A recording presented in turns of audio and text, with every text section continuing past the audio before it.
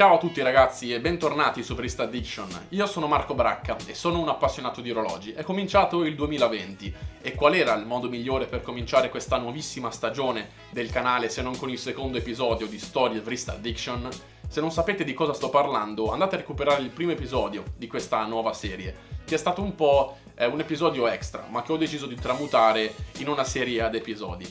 Eh, tanti di voi già lo sapranno, ma lo ripeto, lo ripeterò. Il mio profilo Instagram è costruito sulla base dei vostri scatti, delle vostre foto, dei vostri orologi. E quindi quello che stiamo costruendo con la mia pagina è un luogo eh, che dice tanto sulla nostra community e sulla nostra passione, pieno di scatti bellissimi. E questa cosa mi riempie veramente di gioia. Le foto che tanti di voi mi mandano via email spesso e volentieri hanno come allegato, diciamo così, anche delle storie da raccontare, storie di vita che legano i proprietari a questi orologi.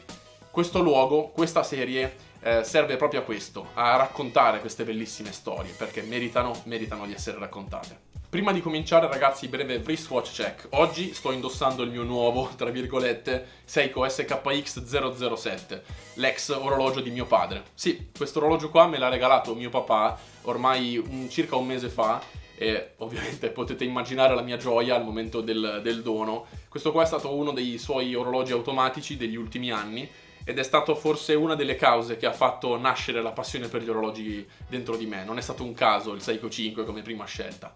Glielo vedevo sempre indossare, quindi Seiko per me era, era entrata nell'Olimpo dei sogni. Come potete vedere l'orologio lo sto abbinando, secondo me molto bene, con una camicia. Eh, la camicia è la stessa che ho indossato nella recensione del Pierre Pollen, la camicia che Lanieri mi ha fornito in collaborazione. Veramente comodissima e su misura, mi hanno trattato veramente coi guanti, è stata un'esperienza molto interessante. Vi lascio qui sotto in descrizione un codice sconto se siete interessati anche voi a provare questa esperienza della camicia su misura. Ora andiamo al video. Ecco a voi il secondo episodio.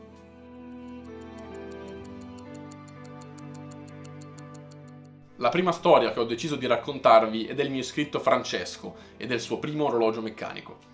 Mi chiamo Francesco e volevo condividere con te e tutti gli iscritti il mio orologio. Per me questo è un segnatempo con un grande significato, oltre che di una bellezza e di un'eleganza senza tempo. Ho deciso infatti di comprarlo in ricordo di mia zia Anna, una donna fantastica, umilissima, grande lavoratrice, che ha accudito me ed i miei fratelli in questi anni, i miei sei fratelli. Mi ricordo ancora il giorno in cui le feci vedere questo segnatempo. Le dissi che un giorno, quando avessi iniziato a lavorare, sarei riuscito a comprarlo. Così lei mi guardò e subito tirò fuori dal portafogli una banconota dicendomi Tieni, ti aiuto io a comprarlo. Mettili via perché ci vorrà tempo e pazienza. Ho inseguito a lungo questo orologio e così, dopo quattro anni lavorativi, pieni di sacrifici, ho riempito piano piano il salvadanaio, alla quale mia zia aveva gettato le fondamenta. Ora mi porto felicemente a casa questo bellissimo pezzo, l'Omega Constellation, il mio primo orologio meccanico, automatico, accompagnato dal grande insegnamento che nella vita, con il sudore e la fatica, è possibile perseguire qualsiasi obiettivo. Grazie zia. Francesco, grazie mille per questa condivisione, veramente bellissima, non c'è bisogno di dirlo, tieni sempre con cura questo orologio e sarà per sempre un bellissimo ricordo per te. Grazie. Andiamo avanti passando alla storia di Andrea, che mi ha fatto rivalutare tantissimo le ristampe di alcuni orologi vintage, come in questo caso. Questo orologio, oltre ad avere un grandissimo valore sentimentale, è stato il segnatempo che mi fece appassionare a questo fantastico mondo. Ed è grazie a lui che ora sono qui a scriverti, dopo aver conosciuto il tuo canale, che ha tanto aiutato un ignorantone come me a capire qualcosa di questo mondo. Grazie mille. Questo orologio fu il regalo della mia bisnonna a mio nonno. Mio nonno adorava questo orologio Perciò, dopo anni di onorato servizio, decise di fargli fare anche il bracciale in oro. Purtroppo, qualche anno fa, mio nonno se n'è andato e questa cosa, questo orologio, è l'unica cosa che mi rimane di lui. Quando mi arrivò era in pessime condizioni. Mio nonno era un uomo che adorava sporcarsi le mani e questo, nonostante tutto, e anche soprattutto il valore economico, era il suo muletto giornaliero. Mi arrivò con il vetro crepato, il quadrante ingiallito, c'era persino della sabbia dentro ed il meccanismo perdeva qualche colpo. Dopo essermi informato, grazie a te e ai canali come il tuo, e dopo aver capito cosa avevo tra le mani, decisi che per rendergli onore dovevo farlo tornare come nuovo. Allora lo portai da esperti orologiai che lo portarono di nuovo ad uno splendore mai visto. Mia nonna stessa quando lo vide si emozionò. Questo è stato il primo della mia collezione che sto cercando man mano di ampliare. Spero ti piaccia tanto quanto piace a me. Grazie dell'attenzione ed un caloroso saluto. Grazie mille per questa condivisione, me la ricordo benissimo e appunto mi ha fatto rivalutare le ristampe. Di solito io sono per l'originalità sempre, ma questa è una storia diversa, la storia eh, di un orologio che ha avuto una vita insieme a tuo nonno e che tu stesso hai deciso di revitalizzare completamente, però senza snaturarlo, senza fargli perdere l'anima, perché era così come lo amava tuo nonno e questo non ha prezzo, perché sono orologi che ha senso eh, migliorare per tenerli per sé per sempre, tenerli nella propria famiglia senza mai venderli. Hai fatto solo bene, grazie mille e rivalutiamo le ristampe. Questa è la storia di Dino. Sicuramente sono figlio dell'era del marketing, classe 82, e delle collaborazioni sportive. Così da ragazzino mi convinsi che il vero orologio fosse Tag Heuer, dal nome che vedevo sulla vettura di Senna e che in altre occasioni ho visto sul polso di attori famosi. Questa cosa mi rimane dentro, seppur non gli abbia dato tanto peso, e così gli anni passano, mi diplomo, inizio a lavorare, e lavorando inizio a capire una cosa, che per dare una scossa alla mia professionalità ho bisogno di una laurea. Pensa che ti ripensa, mi decido. Lascio il cosiddetto posto fisso, in quanto credo che quel lavoro non abbia nulla da darmi oltre a quello già dato.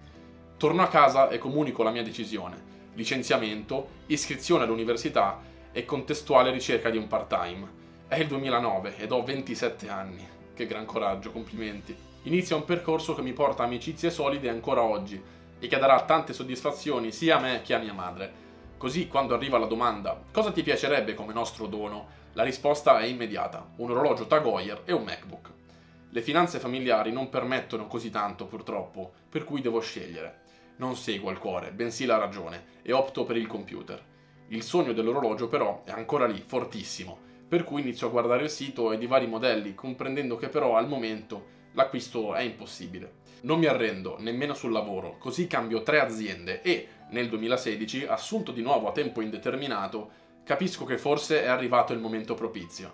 Cinque mesi dopo, risparmiando, mentre sono a Portofino con la mia morosa, entro in una gioielleria. No, non è stato casuale. Ed arriva il modello sognato anni prima, il Carrera, in una veste recente ed in linea con la mia nuova cultura orologera. Infatti sul marchio è riportato solamente Hoyer. Quando lo guardo vedo il successo personale e la forza che i desideri riescono a dare. Proprio per questa mia esperienza mi sono permesso di dirti di lasciar perdere le critiche e concentrarti sul tuo sogno. Solo così questo sogno diventerà realtà. Pertanto ti mando il mio più sentito in bocca al lupo con la foto qui sotto.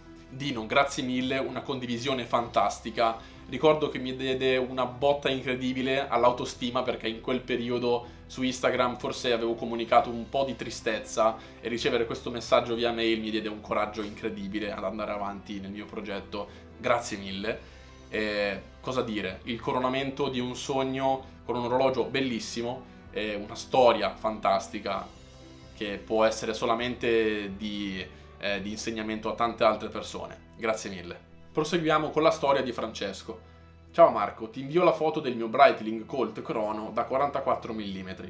Ci sono molto affezionato perché mi è stato regalato da mia sorella dopo che i ladri mi rubarono in casa tutti i miei orologi che collezionavo sin da bambino. Mi dispiace veramente tanto. Pochi erano di valore, ma ovviamente avevano tutti un valore speciale per me, che andava ben oltre il mero aspetto economico. Tra gli orologi rubatomi c'era anche un Breitling Chronomat dei primi anni 90, lo adoravo, mi fu passato da mio padre. Beh, vedendomi davvero afflitto, mia sorella, quando le fu possibile, mi regalò questo ragazzaccio e da lì ripartì la mia collezione. Francesco, mi dispiace veramente tanto, una storia al contempo molto triste, ma appunto allo stesso tempo ricca di speranza, no? Perché questo orologio è stato un po' una rinascita, come se quel Breitling fosse in qualche modo tornato tra le tue mani sotto una veste nuova, più moderna. Eh, quindi mi dispiace tantissimo per quello che ti è successo, ma al contempo si vede che tua sorella ti conosce e ti vuole bene. Congratulazioni e goditelo per sempre e ricomincia a collezionare, coraggio. E la prossima storia, l'ultima di questo episodio, ma non la meno importante, nessuna è la meno importante, è il racconto di Adriano. Mi piace pensare che gli orologi che indossiamo siano soltanto di passaggio sui nostri polsi, perché voglio immaginarli fra tanti anni ancora qui sulla Terra, ormai in nostra assenza. Adriano, bellissimo pensiero che condivido pienamente. Ho sempre avuto una grande passione per gli orologi, ma il mio lavoro non mi consentiva di acquistarne di lussuosi. Ma facendo enormi sacrifici e portando l'impegno al massimo, sono comunque riuscito ad arrivare ad un buon livello imprenditoriale. Congratulazioni. Dunque ho deciso di iniziare la mia collezione. Ho saputo poi della nascita di mia figlia, quindi ho iniziato a prepararmi. Volevo garantirgli qualcosa che fosse uscito magari fuori produzione, qualche Rolex ad esempio. Poi mi è capitato questo meraviglioso Batman e mi sono detto, ecco, mia figlia potrà sempre contare su di me e spero di essere il suo supereroe per sempre. Così le ho regalato questo orologio per il suo battesimo. Mi sono detto, mia figlia quando sarà grande dovrà avere qualcosa che io non ho mai potuto avere, ma che sono riuscito a realizzare per lei ti amo Aurora. Allora, mm, mi sto ricommuovendo di nuovo, stessa reazione che ho avuto la prima volta che ho ricevuto questa mail. Adriano, grazie mille. E è una storia fantastica, come si fa a non commuoversi. Grazie intanto per la fiducia riposta nell'aver inviato una cosa così personale a me e a tutti noi. E, um, hai comprato un grande orologio, un signor orologio eh, che sarà un, veramente un tesoro nelle sue mani per sempre. Eh, però, piccolo consiglio da appassionato, usatelo un po' te prima di donarglielo. Grazie mille Adriano e con questo termina l'episodio ragazzi. Se il video vi è piaciuto ovviamente lasciate un bel like qui sotto ragazzi e non dimenticatevi di commentare per dirmi cosa ne pensate di questo video, di queste storie o se ne avete una voi stessi da raccontarmi. Volevo ringraziare alla fine del video, come sempre, tutti i miei patrons, i miei sostenitori attivi che permettono a me e al mio progetto di andare avanti con una donazione fissa mensile. Se volete aiutarmi anche voi vi lascio qui sotto il link in descrizione e ovviamente se non siete ancora iscritti al canale cosa state aspettando? Cliccate questo link. Grazie a tutti.